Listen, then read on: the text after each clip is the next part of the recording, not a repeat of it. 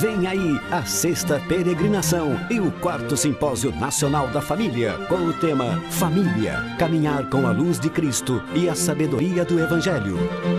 Dias 24 e 25 de maio, no Santuário Nacional de Aparecida. Organize sua caravana e participe com sua família. Te esperamos em Aparecida. Fique com Deus.